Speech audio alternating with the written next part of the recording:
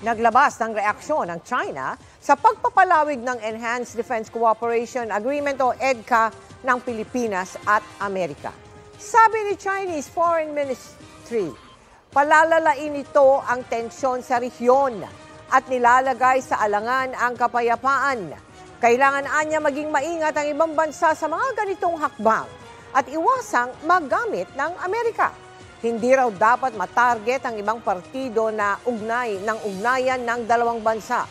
Mula sa lima, magiging siyam na ang lugar sa bansa kung saan papayagan ng Amerika na magpasok ng mga sundalo at military equipment sa loob ng mga kampo ng AFP.